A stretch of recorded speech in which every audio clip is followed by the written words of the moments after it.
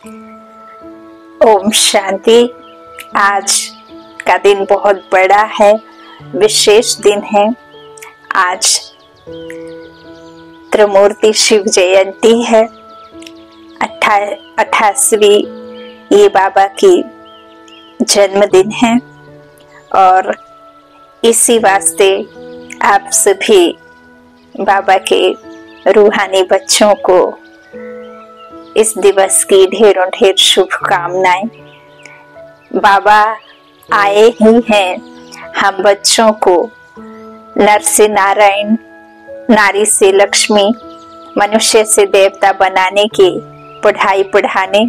तो बाबा जब भी किसी भी प्रकार का सेंटर्स में, चाहे मधुबन में, जब कोई भी इस तरह का यथार्थ त्योहार बाबा ने बताए हैं, सारे संगम के ही सारे तीस त्योहार हैं। तो बाबा सिर्फ़ और सिर्फ़ यही एक बात बच्चों से कहते हैं कि मीठे बच्चे, अपने अंदर की एक कमी कमज़ोरी छोड़ने का पक्का, सच्चा, खुद से और बाप से वादा करो और जो चीज़ दान में दे दी जाती है, उसे वापस नहीं लिया जाता है। तो बाबा यही कहते हैं हर पल कि अपने में वो सब धारणा करो जिससे तुम्हें देवी देवता बनने की मदद मिलती है। आप सभी को शिव जयंती की, त्रिमूर्ति शिव जयंती की ढेरों ढेर शुभकामनाएँ। खूब नशा है आज बाबा के जन्मदिन मनाने का। काफ़ी समय से चल भी रहा है। जगह जगह बाबा के झंडे फहराए जा रहे हैं। बाबा के बच्चे बाबा का संदेश दे रहे हैं। बाबा कहते भी हैं कि अब मैं आया हूँ तो तुम बच्चों का ही काम है कि मेरा परिचय सबके पास तक जाना चाहिए। दो बाप का परिचय सबको देते रहो। अच्छा आज 8 मार्च 2024 के ईश्वरीय महावाक्य हैं। आज के साकार मुरली के सार में मीठे मीठे प्यारे प्यारे श्री बाबा ने कहा, मीठे बच्चे, बाप की सकाश लेने के लिए खुशबूदार फूल बनो। बाप की मदद हमें जब भी मिलेगी, तब हम बाप के समान, बाप की श्रीमत पर चलकर बाप जैसा चाहते हैं, वैसा हम बनेंगे, तब तो बाप हमें सकाश देंगे ना? तो शक्तियों से हम कब भरेंगे? जब बाबा जैसा चाहता है, वैसा हम सुने और वैसा ही करें। तो बाबा कहते खुशबूदार फूल बनो यदि सकाश चाहिए सवेरे सवेरे उठकर याद में बैठकर प्यार से बाबा से मीठी मीठी रूह रिहान करो, बातें करो, है ना? कभी एक शुक्रिया शब्द ले लो, कभी बाबा से अपने मन की बातें करो कभी बाबा से चारों सतयुग और त्रेता युग की राजाई के लिए बाबा को शुक्रिया करो, कभी बाबा जो हमें संगम पर पालना दे रहे हैं, उस बात की बात करो। कभी बाबा ने जो हमें देव दर्शन अपने आत्मा का खुद का कराया, कभी उस बात का रोह रियान करो, कभी बाबा से शक्तियों की, कभी शांति की, कभी पवित्रता की, कभी कुछ कभी कुछ इस तरह से बाबा से हमें रूह रिहान करने के लिए इतने सारे टॉपिक हैं कि कम पड़ जाता है समय, है ना? तो रोज मीठी मीठी बातें करना है, अमृत वेले। प्रश्न है मुरली का बाप को सब बच्चे नंबर बार याद करते हैं, लेकिन बाप किन बच्चों को याद करते हैं? आज देख लो। उत्तर में बाबा ने कहा, जो बच्चे बहुत मीठे जिन्हें सर्विस के बिना और कुछ सूझता ही नहीं है।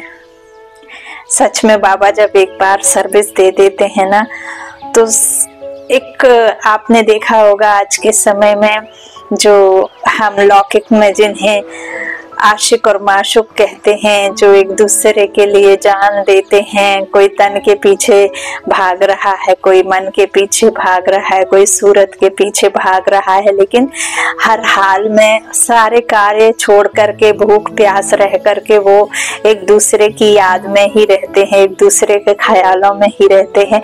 ऐसे ही बाबा ने जब से ये सेवा दी है, तब से सारे घर के काम छोड़ करके ये सर्विस ऐसा लगता है, ऐसा क्या क्रिएट करूँ ऐसा कौन सा आ, सर्च करूँ ऐसा क्या लेकर के आऊँ जो मैं औरों तक पहुँचा पाऊँ कि बाबा देखो हमें कैसे मिला कैसे याद करना है किस तरह से बाबा के कर्म में रहते बाबा के हाथ साथ का रखना है उनको साथ रखना है। तो इतना इतना इतना बस वही एक दीवानों की तरह जैसे प्रेमिका अपने प्रेमी के लिए हर पल सोचती रहती है ऐसे ही बाबा के लिए सर्विस के लिए संकल्प चलते रहते नींद में भी बाबा सर्विस देता है। तो बाबा कहते ऐसे नहीं कहते हैं। इसका मतलब ये नहीं कि मियाँ मुट्ठू बन जाना कि हमारे से ऊँचा कोई नहीं है या हमारे पास में जो है किसी और के पास में नहीं है। नहीं, बाबा का है, बाबा ने निमित्त चुना है, बाबा करा करण करावन हार है। हम सिर्फ़ करण हार है, हम करे जा रहे हमारी कर्मेंद्रिया करण हार है और करावन हार हमारी इस शरीर में बैठी आत्मा है। तो सिर्फ़ हम निमित्त हैं। जो बाबा हमें बताते हैं, वो हम बता रहे हैं, कुछ हमारा नहीं है, इसलिए इसमें भान की बात नहीं और ऐसा भी नहीं कि अब बाबा सिर्फ़ एक बच्चे की बात कर रहे हैं। बाबा के तो हज़ारों बच्चों हैं, बच्चे हैं जो बाबा की मत पर चलते हैं, है ना? तो इस तरह बाबा कहते हैं जो बच्चे बहुत मीठे हैं, जिन्हें सर्विस के बिना और कुछ सूझता ही नहीं है, बाबा उन बच्चों को बहुत याद करते हैं। जो अति प्रेम से बाप को याद करते खुशी में प्रेम के आँसू बहाते ऐसे बच्चों को बाप भी याद करते हैं। बाप की नज़र फूलों तरफ़ जाती है कहेंगे फलानी आत्मा बड़ी अच्छी है। यह आत्मा जहाँ सर्विस देखती भागती रहती है अनेकों का कल्याण करती है तो बाप उसे याद करते हैं। बाबा हम्म, मुरली में हज़ारों दफ़ा मुरली चलते चलते ये प्रेम के आँसू बाबा निकलवा ही देते हैं। बाबा हमें इतना प्यार जो करता है ना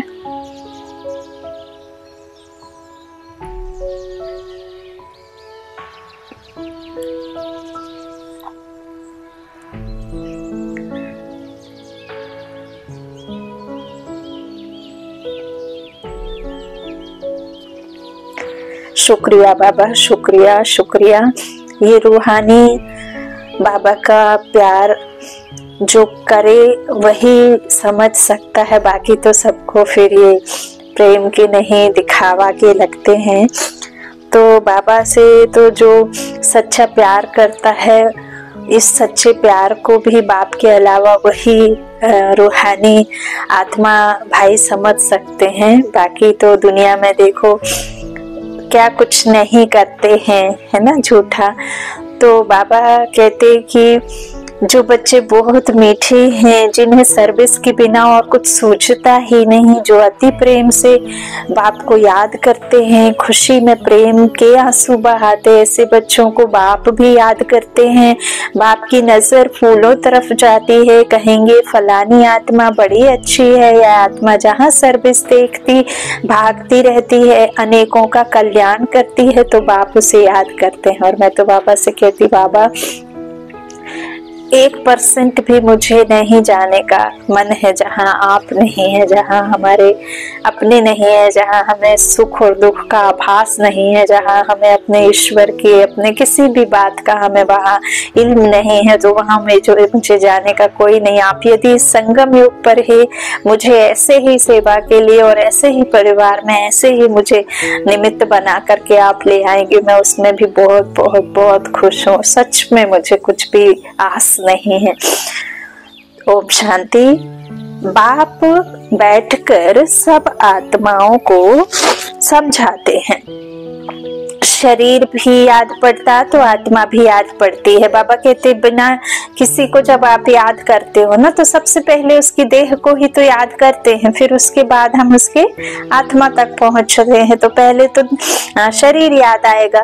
तो बाबा कहते शरीर बिगर आत्मा को याद किया जा नहीं है, जा सकता है, समझा जाता है, यह आत्मा अच्छी है। तो बाबा कहते, यह बाहमुखी है। यह इस दुनिया का सैर आदि करना चाह चाहती है। यह उस दुनिया को भूली हुई है। आत्मा क्या है? बाहर मुखी हो गई है ना? जो देह और देह के संबंध है ना उनके पीछे भागती है। तो बाबा कहते हैं कि ये बाहमुखी हो गई है। ये चाहती है कि हम आ, दुनिया की सैर करें क्योंकि देह के संबंधों से ही उसका नाता अधिक जुड़ा है। तो यह उस दुनिया को भूली हुई है जो उसकी सच्ची दुनिया है उसकी असली दुनिया को वो भूली हुई है। और इसीलिए भागम भाग में जैसे कहते हैं ना हिरण के अंदर ही वो मृगनैनी खुशबू होती है, जिसे वो पूरे जंगलों में भाग भाग करके ढूंढती है ना? तो ऐसे ही है, जो आप क्योंकि आत्मा चाहती है ना सुख, शांति, प्रेम, आनंद, शक्ति, वो सब आपके अंदर ही है। लेकिन हम ढूंढते हैं क्योंकि भूले हुए हैं। तो पहले उनका नाम रूप सामने आता है। फलाने की आत्मा को याद किया जाता है। फलाने की आत्मा अच्छी सर्विस करती है। इनका बुद्धि योग बाबा के साथ है। इनमें यह गुण है। यह यह गुण है। पहले शरीर को याद करने से फिर आत्मा याद आती है। पहले शरीर याद आएगा क्योंकि शरीर शरीर बड़ी चीज़ है ना? फिर आत्मा जो सूक्ष्म, बहुत छोटी है, वो याद आएगी। इन बड़े शरीर की कोई महिमा नहीं की जाती है। महिमा आत्मा की ही की जाती है। चाहे अब हम अज्ञानवश भी हम ये समझते थे कि सामने रमेश, सुरेश लक्ष्मी, ये पढ़ करके डॉक्टर बनी है। जबकि परमात्मा के जब ज्ञान में हम आए तो हमें ये समझ में आया कि पढ़ाई जो पढ़ती है, शरीर के द्वारा आत्मा पढ़ती है ना? यदि शरीर पढ़ाई करता तो शरीर शरीर के साथ ही वो खत्म हो जाता है, चलना चाहिए, खत्म हो जाता है ना वो तो। तो फिर नए सिरे से फिर आत्मा दोबारा जन्म लेती है तो क्यों नए माता पिता नए तरीके से फिर जब वो बड़ा होता, फिर के जी से पढ़ते हैं ना, फिर पढ़ाई करके वो बनते तो इसे ही फिर बाबा ने हाथ का क्षण भंगुर मात सुख कहा काग विष्ट समान। तो बाबा कहते इस तरह शरीर याद पड़ता है क्योंकि वो बड़ी चीज़ है।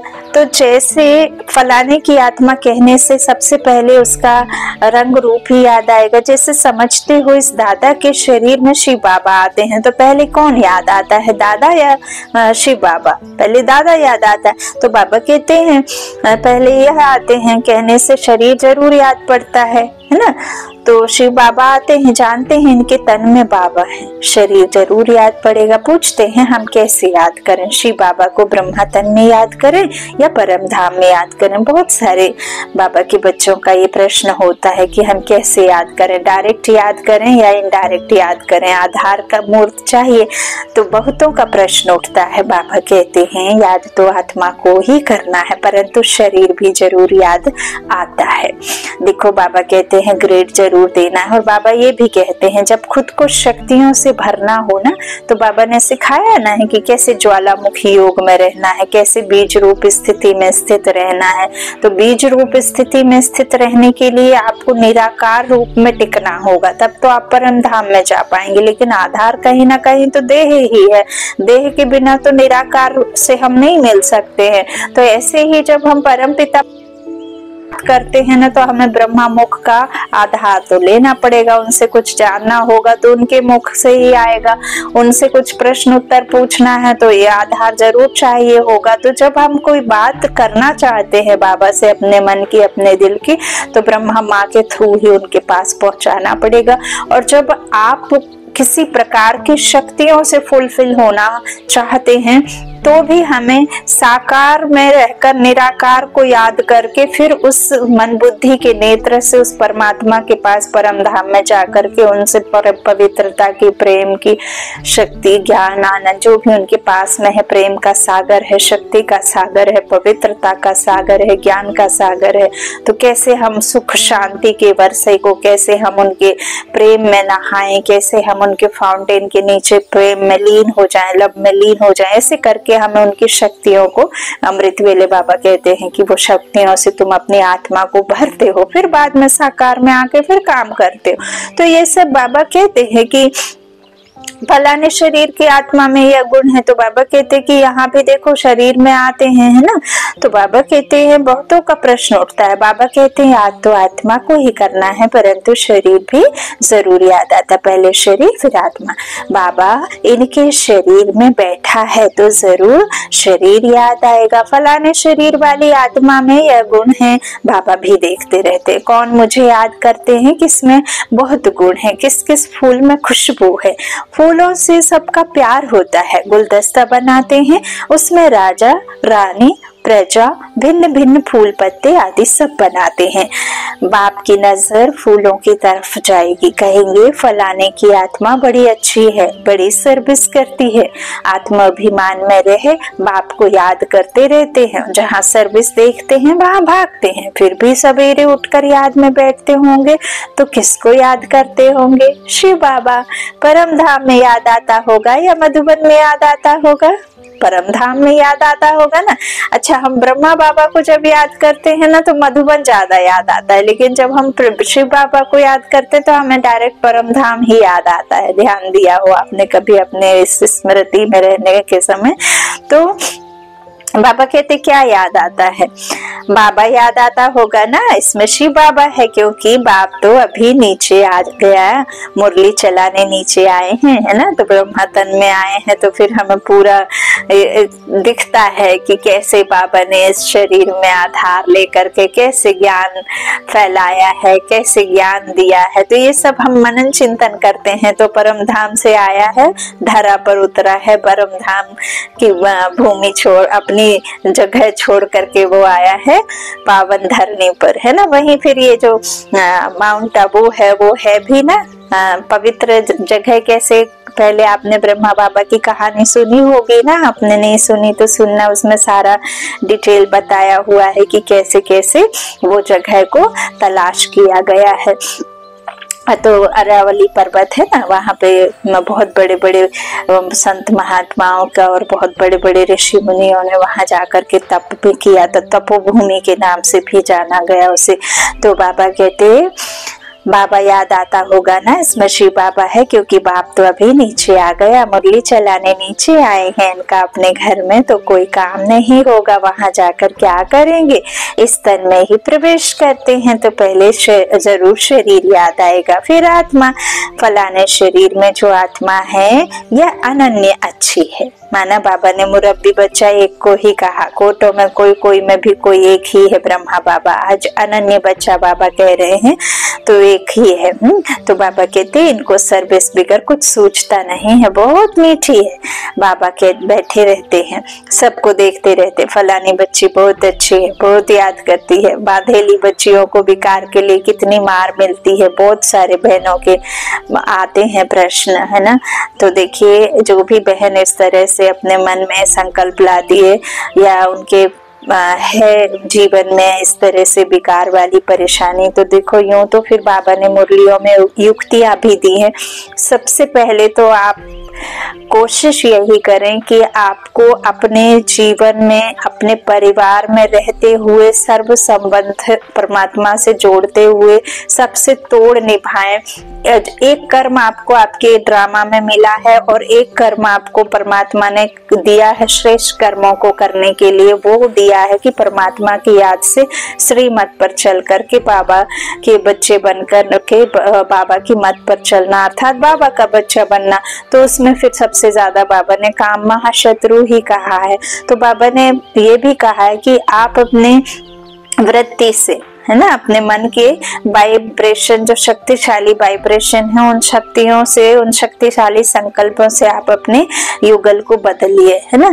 तो उसके लिए बाबा ने कहा, आपके हाथ का वो भोजन, पानी, चाय, सब कुछ पूरे दिन करते हैं ना? आपके हाथ से स्थूल वस्तुओं का भी दान प्रदान होता होगा, लेना देना होता होगा तो हर वक्त आप उस आत्मा को प्योर आत्मा देखें, पवित्र आत्मा देखें, खुद को परम धाम में अनुभव करें, और आप कैसे हैं। निराकार आत्मा का जो स्वरूप है वो कैसा है? पवित्रता का सागर बाप कैसा है, वैसे ही हम आत्मा कैसी थी। अनादि स्वरूप जो है हमारा, उस स्मृति में रहे और उसी स्मृति में आप अपने युगल को देखें। खाने पीने की वस्तुओं में भी डालें एनर्जी डाल करके दें और आप कभी भी वो संकल्प ना करें। जैसा कि आप विकार की बात जब करते हैं तो कहते हैं, अरे, हम सब कुछ कर चुके लेकिन उनका जो मन का विकार है, वो तो जा ही नहीं रहा है, वो तो हमेशा तंग करते हैं। तो ऐसे वक्त के लिए यही है कि आप वो संकल्प ही ना करें। बाबा कहते भी हैं कि समय लगेगा, कर्मातीत अवस्था होने में अभी समय है तो आप हर वक्त उन्हें एक प्योर, पवित्र और अनादि स्वरूप में उनको देखें और खुद को भी परम धाम में खाने पाने, पीने की चीज़ों में भी वही एनर्जी डाल करके दें। और देखिए, ये सब जो बाबा कहते हैं ना कि यदि आपको लगता है कि किसी स्त्री पे बाबा का दिल जा रहा है तो जाने दो। बाबा कहते, छोड़ दो उसे। अच्छा है ना? आपके ऊपर से तो उनका मन हटेगा कम से कम। तो ऐसे सूरज भाई जी से किसी ने प्रश्न पूछा था कि मेरा पति कहीं और नज़र डालता है तो सूरज भाई जी ने यही कहा कि फिर आप उसे अपने मन की करने दें, है ना? तो बहुत सारी बातें ऐसी हैं जो बाबा बहुत युक्तियाँ इसमें बताते तो फिर बाबा ने ये भी कहा है कि आपका उस काम विकार में गिर कर के अपना कल्याण करने से बेटर है कि आप कहें कि बर्तन मांझ लो जाके। बर्तन मांझना आपको इज़्ज़त है, लेकिन काम विकार में गिरना।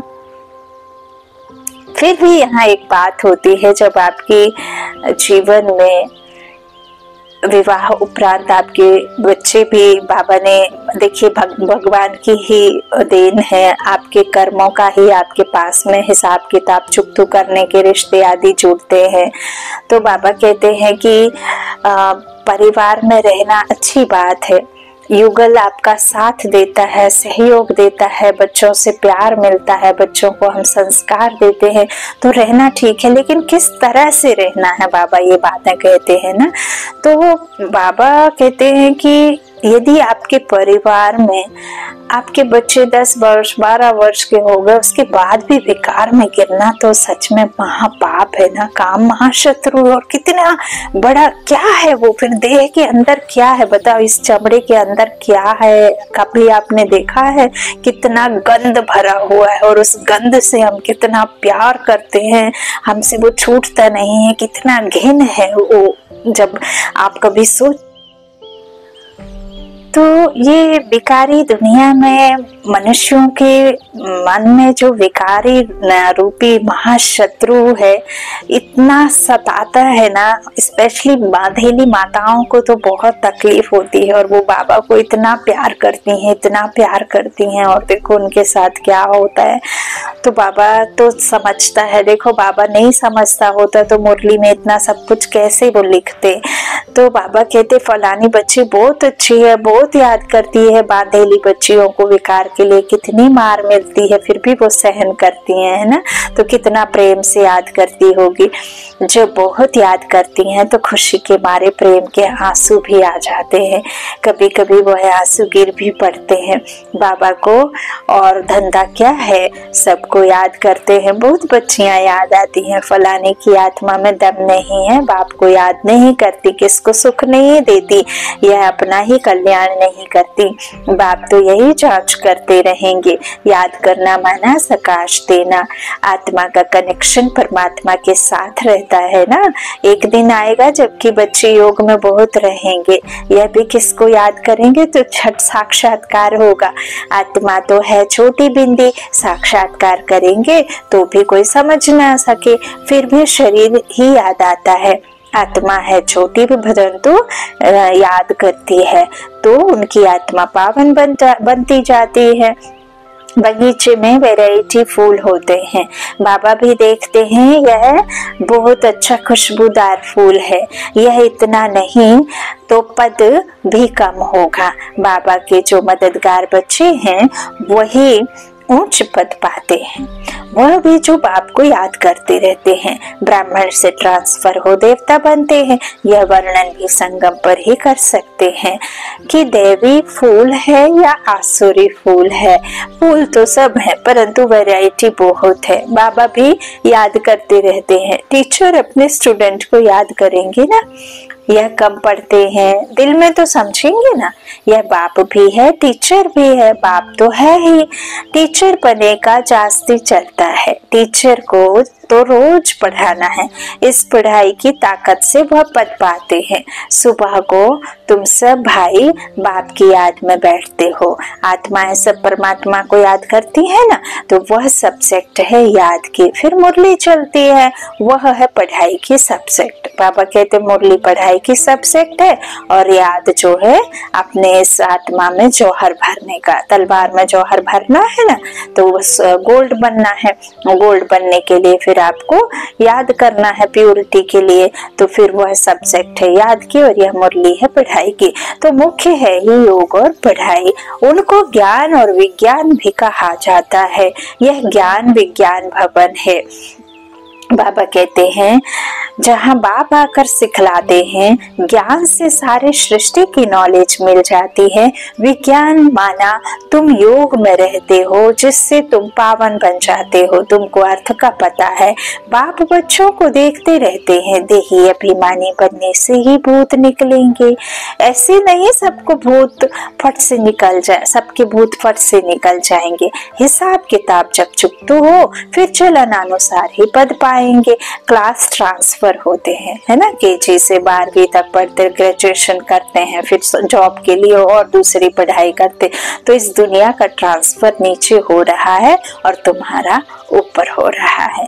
कितना फ़र्क है? वह कलयुगी सीढ़ी नीचे उतरते जाते हैं और तुम पुरुषोत्तम संगम योगी सीढ़ी ऊपर चढ़ते जाते हो। दुनिया तो यही है। सिर्फ़ बुद्धि का काम है। तुम कहते हो हम संगम युगी हैं।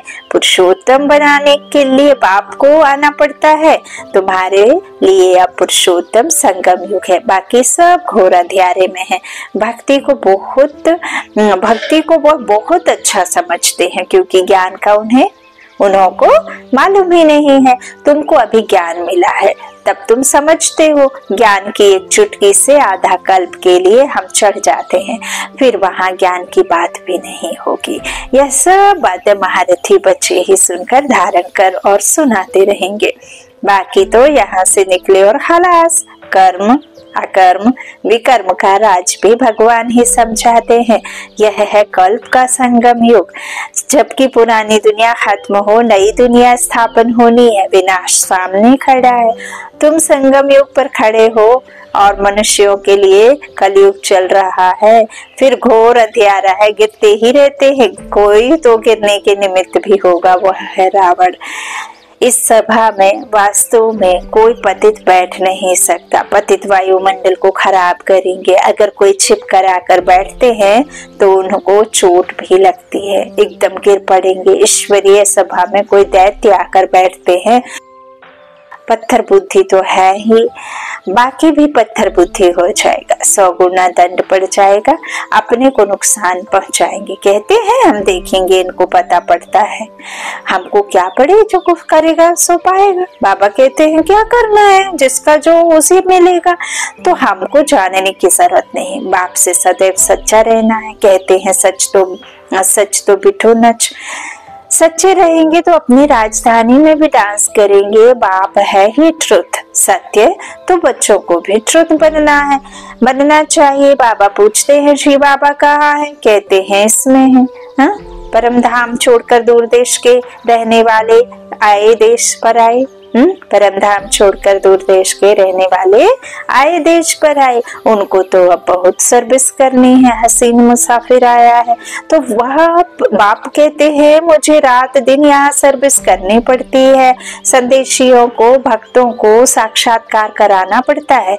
है तो यहाँ ही, वहाँ तो कोई सर्विस नहीं। सर्विस बिगर बाबा को सुख ना आए। सारी दुनिया की सर्विस करनी है। सब पुकारते हैं, बाबा आओ। कहते हैं, इस रथ में आता हूँ। उन्होंने फिर घोड़े गाड़ी का बना दी है। हाँ घोड़े गाड़ी बना दी।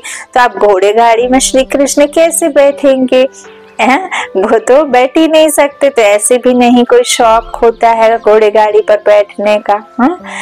बाबा कहते देही अभिमानी और देह अभिमानी बनने की बातें संगम पर ही होती हैं और सिवाय बाप की यह बातें और कोई समझा भी नहीं सकते हैं। तुम भी अभी जानते हो, पहले नहीं जानते थे। क्या कोई गुरु ने सिखाया? गुरु तो बहुत किए, कोई ने भी नहीं सिखाया। तुम लोग गुरु करते हैं। समझते हैं कोई से शांति का रास्ता मिल जाए। बाप कहते हैं, शांति का सागर तो एक बाप ही है। वह साथ ले जाते हैं। सुख धाम शांति धाम का किसको पता ही नहीं है। कलयुग में है शूद्र वर्ण, पुरुषोत्तम संगम युग पर है ब्राह्मण वर्ण। इन वर्णों का भी तुम्हारे सिवाय कोई को पता नहीं है। यहाँ तो तुम सुनते हैं। बाबा कहते, यहाँ तो सुनते हैं, बाहर निकलने से सब कुछ भूल जाते हैं, धारणा होती नहीं। बाप कहते हैं, कहाँ भी जाते हो, बैज पड़ा पड़ा हो। इसमें लज्जा की बात नहीं है। यह तो बाबा ने बहुत कल्याण के लिए बनाया है। किसको भी समझा कर तो कोई संसबल होगा तो कहेगा, इस पर आपका खर्चा हुआ, होगा। बोलो, खर्चा तो होता ही है, गरीबों के लिए फ्री है।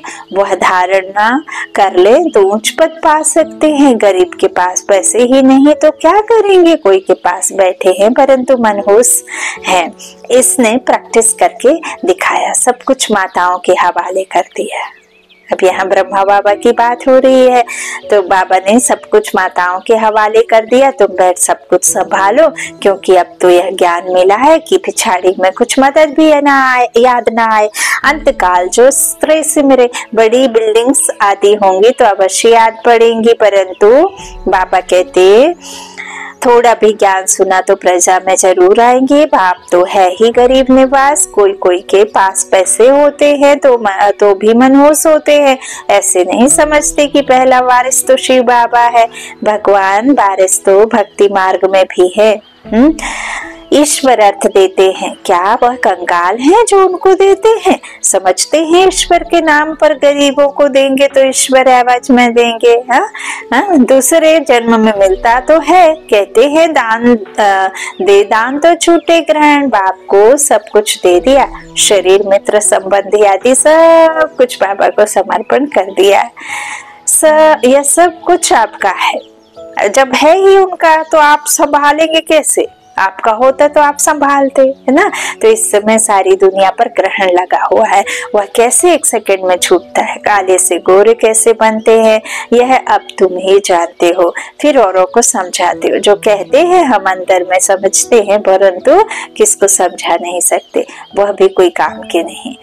बाबा कहते हैं, दे दान तो छूटे ग्रहण। हम तुमको अविनाशी रत्न देते हैं। वह सबको देते जाओ। तो भारत पर बाप सारी दुनिया पर जो राहु का ग्रहण बैठा है, वह उतर जाएगा और बृहस्पति की दशा हो जाए। सबसे अच्छी थोड़ी अच्छी होती है बृहस्पति की दशा।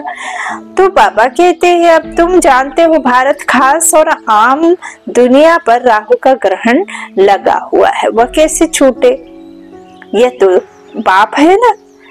बाप तुम्हारे से पुराना लेकर नया देते हैं। इसको कहा जाता है बृहस्पति की दशा। मुक्ति धाम में जाने वालों के लिए बृहस्पति की दशा नहीं कहेंगे। अच्छा मीठी मीठी सिक्की लादे बच्चों प्रति। माता पिता बाप, दादा का लाड प्यार और गुड मॉर्निंग। रूहानी बाप की रूहानी बच्चों को नमस्ते। हम रूहानी बच्चों के रूहानी माता पिता बाप, दादा को याद प्यार और गुड मॉर्निंग। धारणा के लिए मुख्य सार। पहला बाबा ने कहा सदा खुशी में डांस करने के लिए सच्चे बाप से सदा सच्चा रहना है, कुछ भी नहीं छिपाना है। दूसरा बाप जो अविनाशी रत्न देते हैं, वह सबको बांटने हैं। साथ साथ श्री बाबा को अपना बारिश बनाकर सब कुछ सफल करना है। इसमें मनहूस नहीं बनना है। वरदान, बिंदु और बूंद के महत्व को समझ अपना श्रेष्ठ स्थिति बनाने वाले सिद्धि स्वरूप भाव। बिंदु और बूंद के महत्व को समझ अपने श्रेष्ठ स्थिति बनाने वाले सिद्धि स्वरूप का शिव परमात्मा की पूजा में एक बिंदु की विशेषता है, दूसरी बूंद बूंद की विशेषता है। दोनों का अपना महत्व है, आत्मा, परमात्मा और प्रकृति का यह खेल है। आत्मा, परमात्मा और ये शरीर रूपी प्रकृति का यह खेल है। तो बाबा कहते अर्थात ड्रामा तीनों का ज्ञान प्रैक्टिकल लाइफ में बिंदु ही अनुभव होता है और बूंद है शुद्ध संकल्पों की स्मृति, जिससे मिलन की सिद्धि का अनुभव होता है। रूह रिहान में प्राप्तियों की शीतल बूंदे बाप पर डालते हो, इसी से ही श्रेष्ठ स्थिति बन जाती है। इसी का यादगार भक्ति में चला आता है। स्लोगन, ज़्यादा बोलने से दिमाग की एनर्जी कम हो जाती है, इसलिए शॉर्ट और स्वीट बोलो ज्यादा